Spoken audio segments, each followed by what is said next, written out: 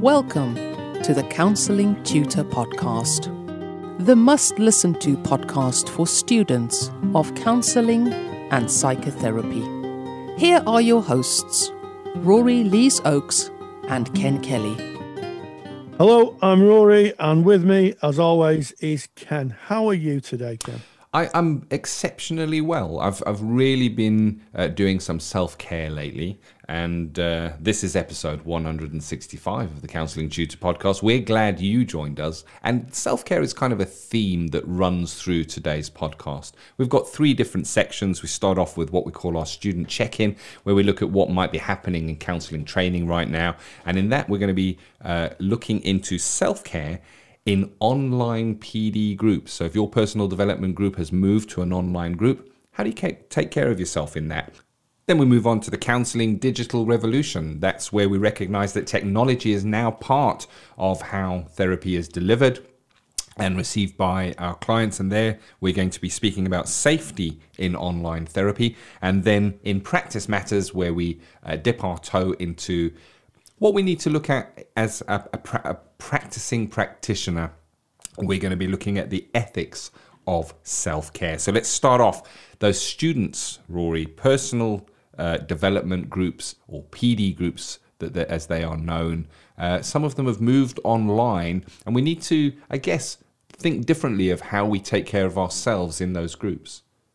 Yes, absolutely, and I and I'm sure that tutors who are listening to this have thought long and hard before they've they've run uh, PD groups online. As someone who's uh, who's who's run a fair few PD groups in my time, um, there are so many there's so many moving parts and so much to think about when you're when you're working with other people's process. They're sometimes referred to as process groups. And if you're wondering, if you're listening to this, maybe you, you, are doing a level two or an introduction, you what's, what's a PD group? Well, part of training to be a therapist is to gain insight into self and also to to be able to develop the ability to challenge others and, and be inquiring of others processes and quite quite um, clearly a PD group or quite straightforwardly a PD group is where the students usually sit in a circle. It's facilitated by a tutor. And they they process what's going on for themselves. They speak about their own processes and and how they are um, how they experience others. It's a unique um, environment where an, an environment you, you, don't get replicated in any other walk of life, I don't think. And it's an opportunity to actually address someone in the group and say, This is how I experience you, this is how I see you. And for that person to think, Is that how I am? Or, or, or to say, Actually, this is what's going on for me. It's it's not quite therapy, but it's not far from it and it's a very it's a very um, it's a very kind of narrow line to walk, which is why when you take a PD group into an online environment, there's so many things that you need to think about. And certainly, if you're a student undertaking a PD PD group and you sat at home, you may want to think about how you can take care of yourself. You know, what are you going to do right after the PD group finishes? Are you going to go for a walk, little time of reflection? Maybe just just take some time to let that process sink in. It's called a process group for a reason. It's because you're working with your own processes, and it may be that you're thinking and and processing how the theory you've learned actually maps into your own life. I think that's one of the most powerful um, changes, arbiters of change in an individual's training in counselling, where they look at the theory and they think, "Oh gosh." This is what's happening in my life. There's a theory to explain why I feel like I am.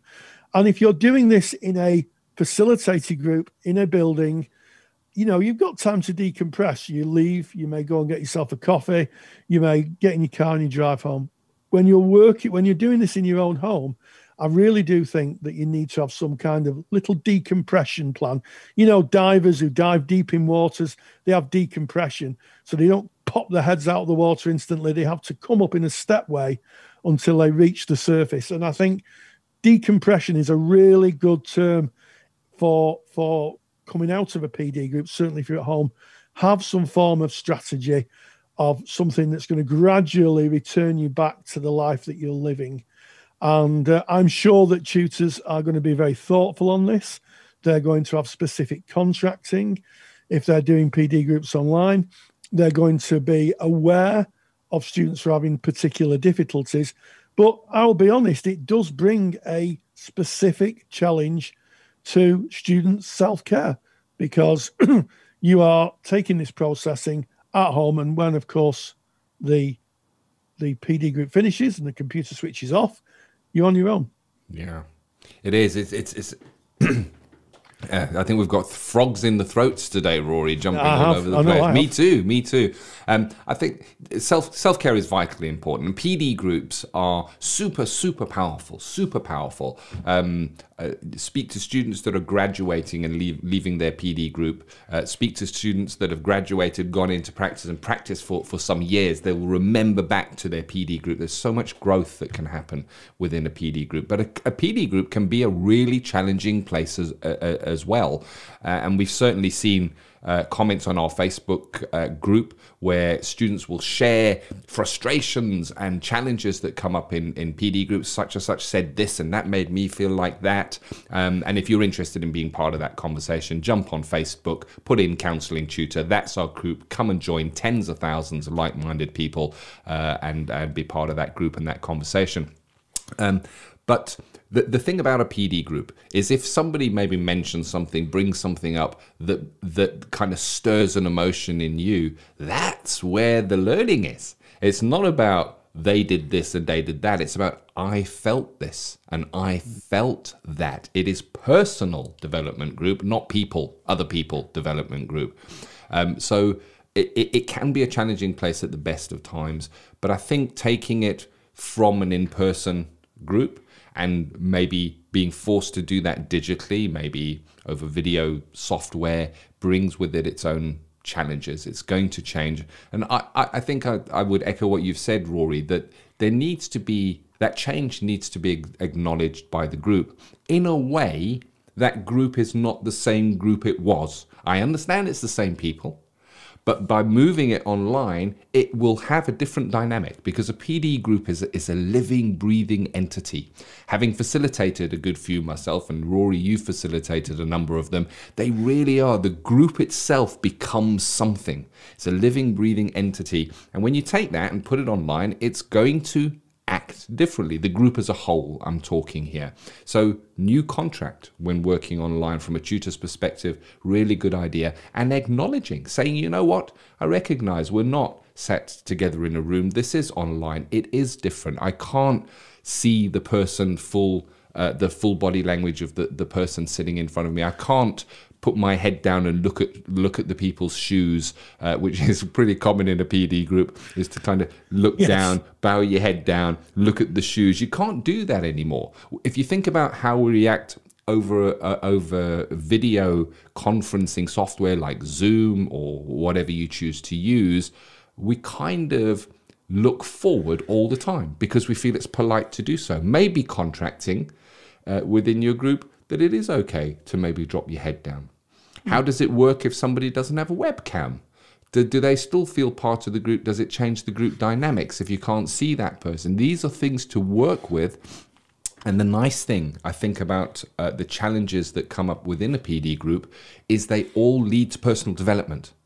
Because it's not as it was, does not mean you can't have personal development. The very nature that it changes and brings stuff up for you is great learning within your personal development group but always with a focus on your self care. Your self care. Because within a personal development group, as you quite rightly said, Rory, it is not therapy, but it can be therapeutic. Mm. You can find yourself bringing stuff. You can feel emotions coming up and being shown within that group. How do Absolutely. you manage that? How do you manage and keep yourself safe within that environment? So that's what we're kind of focusing on here. Yes, absolutely, and and it is a whole new sphere. You know, the the the online teaching is something, in, certainly in counselling, that no one would have ever envisaged before um, before we we found ourselves in this COVID um, society, if you like. So so I think everybody's finding the way.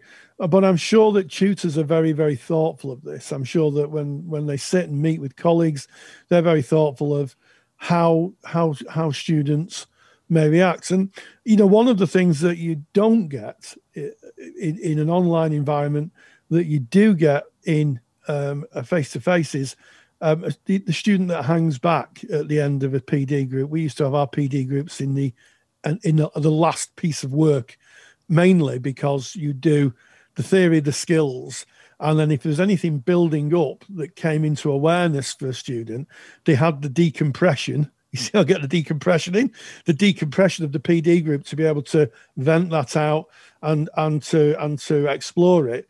Uh, but occasionally, when most of the students went home, you'd have the, a student who'd hang back and and they'd be a little bit um, upset or a little bit um, distressed, and you'd have to take a few moments just to ground them and help them re re-engage into the world they're going back to. And I'm sure that that um, within contracting, a lot of tutors will have that built in. So it may be that as part of the um, contract, a tutor will say, you know, if anybody just needs a word, um, I'll I'll be around and I'll I'll I'll be at the end end of end of the group. It has to be thoughtful, and they can just do a quick one to one and just check and see if everybody's okay. But you know, it, I I think if I was a tutor nowadays, I would have a whole lot more to think about when when conducting any teaching online than I ever had when I was doing it face to face in terms of safety and protection. Yep. Um, and I think that we're we're learning as we go. I know that colleagues who teach online are saying that we're literally learning as we go. But I do think I do think that PD groups online, the safety lives in the contract. Yeah, definitely. And um, look to your support structure, your your network that you have. So Rory has already painted that picture of you come out of what could be quite an emotionally moving PD session, and you can leave with any range of emotions. Pick an emotion, you can be leaving yeah, yeah. the PD group holding that emotion. Now, the thought of instantly being faced with maybe your family, maybe chores, maybe something that you have to do. Um, it, it, it's it's challenging. So Rory's already spoken about that that decompression, and maybe there's an opportunity to explore what your support system looks like. Maybe you have a peer that you're well connected with on your course that um, that you can touch base with and just just chat for five minutes after the PD session, just to again decompress, something to change gear. I mean, at the very least, if you're in a face to face college, university, learning center environment and having a PD group. And if it is held at the end of the session, you at least maybe have the travel time that you would have to, to get back where you can clear your mind. So many of our students used to say, you know what, when I drive back after our, uh, our uh, training sessions, I don't listen to the radio because I find that it interrupts my process and I like to to, to kind of deprocess and kind of change gear, as it were, before I am back into my. I'm doing real world, but I'm doing the uh, inverted commas in the air, um, the, the, the real world, and this you don't get the, the that online. You kind of instantly close close the window and now the real world is back. How do you make that transition? And we're not here to tell you how to do it. We're here to, to challenge you to, to have a think about how you're going to do that for yourself. And i like your uh, suggestion rory of a walk that mm. my training is. I go to my training then we have our pd group and then i have a 15 minute walk. Nobody talk to me. Nobody bother yes. me kids don't come near me until i come back from my walk and that that's a decompression. Or maybe you journal. But think about it because that self-care is so so important and so much uh, comes up from pd work. If you've if you've been in a group you know that already. Yeah and maybe have your social media switched off um, because i think it could be quite easy to vent out um, onto social media mm. and it might, might not be that might not be terribly useful in the long term so so maybe just be thoughtful of that um, and uh, and and and really take care of yourself. I, I do think that although this is very different and it has its challenges, it does actually reflect the learning that students need, that you students need, in a world where you may be practicing online. Because all training, if you think about it, is meant to replicate what happens in the real world of counselling. And the real world of counselling, more predominantly, is either a blended practice or an online practice. So even if it feels different and uncomfortable, actually, what you're doing is you're equipping yourself for the work that you're going to go into and the world where it's practiced. So, um, you know, as, as someone who's sat in many uncomfortable PD groups as a student, I have to say that it equipped me very well for the world that I went into.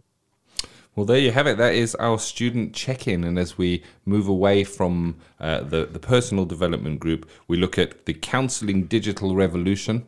Uh, that is kind of acknowledging that technology is now part of therapy in delivery, in receiving, and indeed training, as we have just covered. And in counselling digital revolution, we're going to look at uh, the safety when working online. Digital counselling revolution. Well, as as I said in a lot of podcasts in this season, safety is really, really essential. And certainly it's brought a whole new dimension to that word when we think of working online. And, you know, in the last section, we talked about PD groups. In this section, we're talking about what happens when you work online and what safety considerations you need to think about. So, how let's start off by just analyzing or just having a little think about how different working online is to working face to face. The client comes in to your therapy room, the space is yours. It's your therapy room. Even if you hire it or in an agency, you own the space there as the therapist. The client comes in, you know, the door shuts, the therapy progresses or, or commences. It's it's a it's a enclosed, captured space that you can support the clients in. On online therapy, almost certainly the client is going to be having therapy in their own home. And in that case, you need to be very, very thoughtful of how to keep the client safe. And I, I know there's been a number of observations in the Facebook group saying that some of the techniques aren't really what you would think a counselor would do. But what about being thoughtful of noises in the background? So you're working with a client and you can hear maybe an angry voice or a noise in the background what would you do in a therapy room if you heard a, a noise outside in the street? You'd probably acknowledge it and, and say, oh, well, this sounds like there's, there's something going on out there. But you wouldn't be thinking in terms of safety because they're outside your physical environment. But if you hear an angry voice, you know, maybe you're working with a client on the phone, maybe you're working with them face to face online, and you hear an angry voice, how do you react to that? Because if that's coming from their house, what would you do? So part of safety is thinking about when you're working with a client about doing a good assessment of, of their situation and what difficulties they may be facing. That's absolutely essential. And, you know, I will hold my hands up. It's not something we'd usually do in counseling. And I, I think a, a, lot of voices are saying, well, this isn't what counseling is. But online counseling is completely different. So, you know, having a safe word, I know that a lot of therapists um, may have you know a, a, safe word that the client uses in case someone comes home unexpectedly. You know they may have a put the, space to have therapy. They may not be telling their partner, which is fine, or their children, which is fine, and all of a sudden, halfway through a therapy session, partner comes home, he or she comes home early.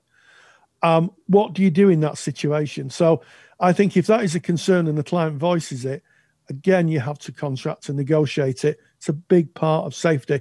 And I know some therapists who hear noise in the background and say, Is it okay for you to talk? And the client says, No. And the contract is, Well, we'll speak again next week.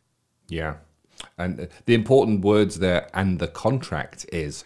And we, we covered contracting in depth in episode 164 uh, of the Counselling Tutor podcast. If you hadn't listened to that episode, uh, do yourself a favor and go and listen to it because we cover contracting and how different contracting is when working online. And non maleficence means we do no harm. We have a, a duty of care to, to provide. We, to, so often we say we, we, we, provide a safe and secure environment where you can bring uh, bring what you have to say. I've, I've had that on my own website, but as Rory has just pointed out, they're not in your environment anymore. You do not have control of the environment where the client is receiving their therapy. And as a result of that, it's difficult to hold that safety. It's not impossible, and we need to contract around it. We need to assess around that to understand uh, what the client's situation may be. And we also need to educate the client in order for them to stay safe within your uh, confined space of your therapy room in face to face therapy, you've taken care of confidentiality. You've made sure that, that, that nobody can see in the window to see who's being uh, counseled. You've made sure that the room is adequately soundproofed, that it, you can't be overheard from outside. Um, we cannot presume that the client will be in a soundproofed environment that can't be overheard from a different room. And it's about educating and, and having that discussion before therapy starts, explaining you may be overheard from a different room. You need a, a safe space you can work educating them in terms of, of technology they can use to minimize that, such as wearing headphones that have got a built in microphone where they don't have to speak so loudly and there's no sound coming out of the, the speakers of their system that may be overheard from another room. Or, as you pointed out, Rory, somebody may be unexpectedly uh, arriving home early. About having in your contract what you would do if some a, a commotion did start uh, uh, uh, in in the background, what would you do if an, an argument suddenly uh, uh, broke out? You heard somebody come in in the background. Suddenly there was an argument, and and the connection was lost. What do you do as a therapist? That the that is the client at risk, and this is all dealt with before therapy starts. What what how you work. Absolutely, and there's there's a few little kind of idiosyncrasies that you might not think about with online therapy. So, for for instance, if you're using a, a, a computer, as we are today, um, it, computers have a tendency to have an, what's called a, a volume gain, an automatic volume gain. Uh, we have ours switched off because we don't want any noises outside to come into the podcast, so we turn ours off. But what can happen is if you if you're working, say, in your home and working online, and then someone walk past shouting, it might feel to the client like that person was in your room. And again, that could be, well, is there someone else in the room? So I think that, you know, if you are working online and and you, you can hear, you, you can actually, you, there's, there's noises outside, is to articulate and say, oh, that's just something outside uh, of, of, of the room. Um, because it can be quite easy for clients, if, certainly if you're doing uh, telephone work, not to know where you are that you're a voice on the phone. So I think, you know, being aware of noises or voices that might just be outside, if you're, I'd say, sat in your home and someone walks past speaking loudly, um, to just say, oh, it's okay, that that is actually someone outside. They're not in. It's not in the room. It's it's it's okay because safety goes two ways. I mean, you know, if you're a client and you can hear someone talking in your therapist's room, you think, well, who else is in there? Yep. And you really, you really got to think this through. And unfortunately, modern technology is so good that the the the the, the microphones will pick up noises as loud as the person who's speaking. So as Ken said, get yourself a headset. Um, and that's that's super useful. I think a headset's absolutely essential because the mic's near your mouth, you've got the earphones in, and and you can really hear the client and there's less distractions. Yeah. All adds to safety. It does, and and it's educating the client. It's a, a, correct contracting assessment, uh, correct education, giving the client the information they need, and there's there's it's it's tricky. We've mentioned this before. It's so tricky. There's things that you don't even consider. Um, for example, what about the Alexa that sat in the room? What about the Siri that's sat in the room? These are listening devices. They're on and listening all the time. Now, as a therapist, if you've done a course on online and, telephone counseling, you're not going to have one of those devices anywhere in your room because it is a listening device. It is a microphone that is collecting data. We know this. Uh, uh, uh, all the time. Uh, so that is a direct breach of confidentiality, potentially. We don't know how that uh, uh, data is used, and I'm not insinuating it is used, but we don't know. And the same, we need to be educating our clients as well. You know, don't have your, your, your session in a room where you've got an Alexa or a Siri. You don't want a big microphone that's connected to a, a, a, a company that may be collecting your data when you are sharing uh, your, your innermost turmoil or whatever you're going through. It, it, it is tricky. And again, it's training. Do the adequate training. Absolutely. And to help you with this, I produced a handout. Sometimes Ken refers to it as a super duper handout. A super duper duper handout. Super duper duper handout. Just with some points to think about if you are um, if you are an online therapist and and and safety is front of mind, which it should be. And to get that, you go to counsellingtutor.com, go to the podcast tab on the website, look at podcast 165, and that handout is ready for you to download. Safety considerations in online therapy. So important and really has to be front of mind. Indeed. And uh, if you are considering training in online and telephone therapy, uh, Counselling Tutor have a course uh, a certificate in online and telephone counseling. Uh, I can share with you that we have over 1,000 reviews from peers who have completed this course uh, that you can kind of go and look at and see how they found the course. Uh, the course has been awarded quality check training recognition by the National Counselling Society, and Counselling Tutor is a recognized ACTO training provider as well. And uh, the if, if you want more information on that, counsellingtutor.com has the information on how to join our online and telephone counseling course. Wow, so much to consider, really, Rory, isn't there? This, this, uh, the digital revolution brings with it, I guess, some a, a very, very steep learning curve. It's got its benefits, but it also certainly has its challenges and new considerations. So let's park that move away as we go into practice matters, where today we're going to be looking at the ethics of self care. Practice matters. Yes, and, and those of you who've been listening very carefully would probably have detected a theme in this podcast uh, uh regarding self care, safety, and generally looking after yourself and your clients, offering the best service for your clients. And you know, in this part, I want to I want to talk about something that I don't think is often addressed enough, and that is looking after ourselves. And a lot of people are surprised that certainly if you're a member of the BACP, the British Association of Counselling and Psychotherapy, one of the many ethical bodies that oversee good practice in counselling and psychotherapy, that self care is actually an ethical imperative. To be an ethical practitioner, you have to consider your self care. And it's actually in the BAC for ethical framework as care of self as a practitioner and he starts off by saying we will take responsibility for our own well being as essential to sustain uh, good practice with our clients. And it goes on to saying uh, taking precautions to protect your physical safety, your psychological and physical health, seeking professional support and services as the need arises, and are keeping a healthy balance between our work and other aspects of life.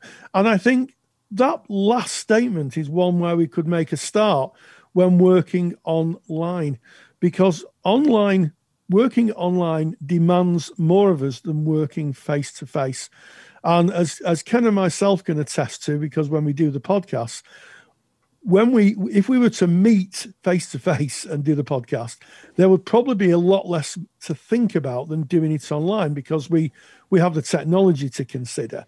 We have any slight delays that we need to consider we're working with computer screens. We're working predominantly on our own. And that, that sometimes has to be acknowledged, and it should be acknowledged if you're a therapist.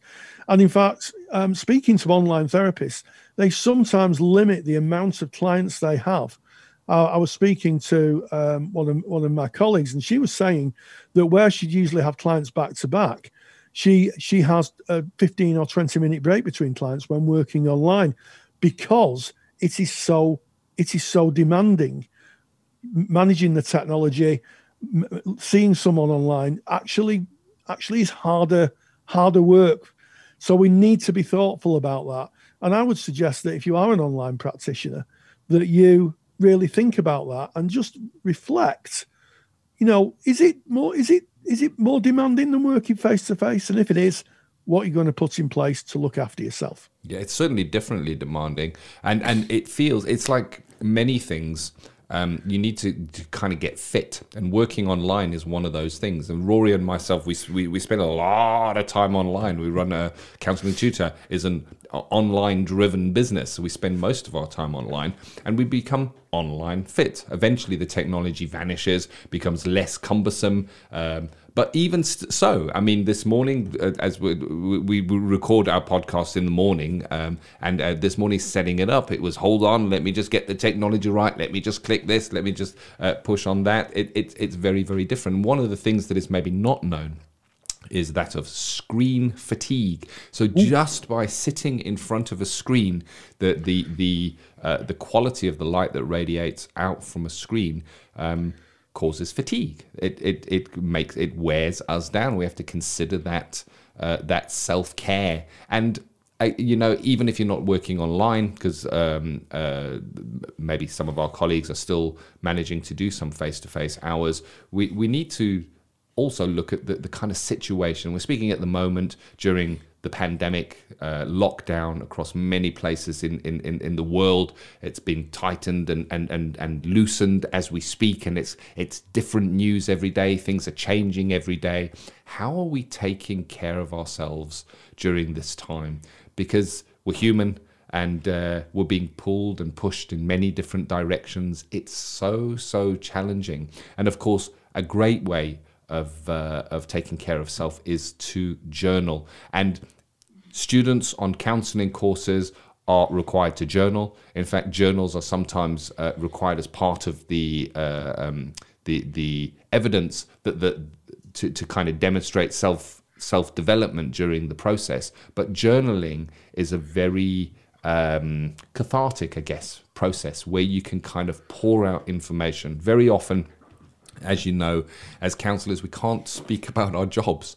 We can't finish our day's work and then go to our family and say, Oh, I had a terrible day at work. This person said that, and that person said this, and this is what happened. We can't speak about it because we're holding confidentiality. We can maybe take that to our, our, our supervisor, uh, and but maybe that is once a month or once so often. So, how do you deal with that at a time that is kind of challenging anyway?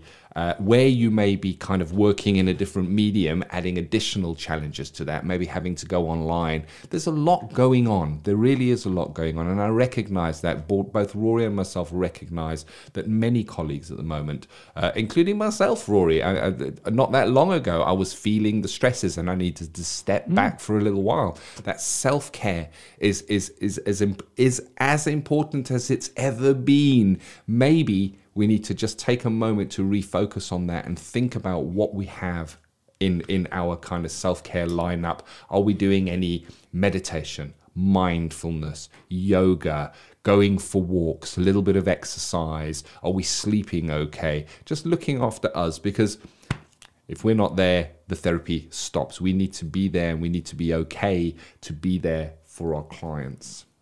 Absolutely. And this is is a, a really demanding, um, really demanding business, if you like.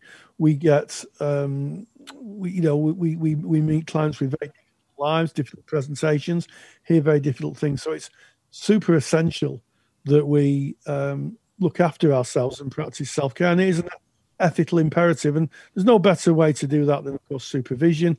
Or, as I found recently, my own personal therapy. I recently went back to my own personal therapy, and I found that incredibly beneficial just to kind of explore, um, just explore aspects of my life um, uh, it, during during during a transition period, you know, in, in terms of COVID. So, really, really do take care of yourself. And what what an episode! We start self care has been a theme of this episode.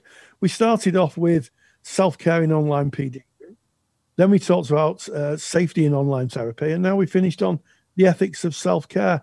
So, as always, if you're in the digital revolution, please stay grounded and stay safe. Take the stress out of your counselling studies and get the support of Rory and I by joining us in the Counselling Study Resource. Counselling Study Resource, or CSR for short, is the world's most comprehensive assignment guidance and study support resource for students just like you of counselling and psychotherapy. See how Counselling Study Resource can help you. Visit counsellingtutor.com. That's counsellingtutor.com. Thank you for listening to the Counseling Tutor podcast. Find the show notes for this episode on our website at www.counsellingtutor.com.